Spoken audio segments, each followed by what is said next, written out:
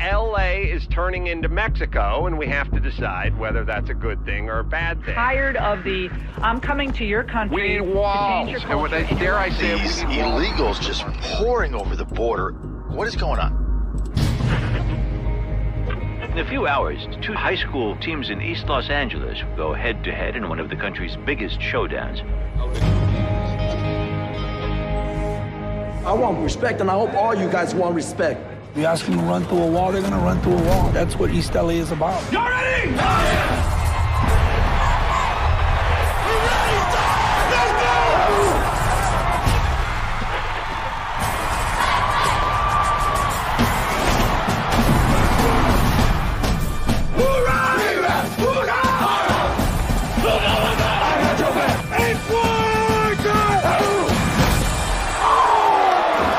You're being nice to him. You're gonna buy him dinner tonight or what? People think I'm just a, another screw up, another Mexican screw up. I have dreams like everybody else does.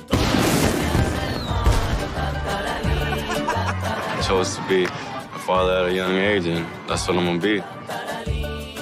People in our class think like, go back where you came from. You don't belong here. Having to go through struggles at such a young age, I think football is his escape.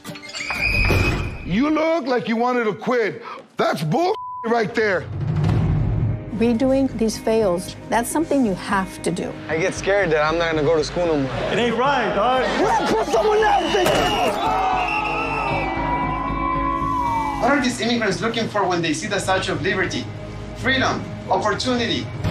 These right here, this is family. We don't quit on family. If you knew that this was gonna be your last play, this is it. How would you play that?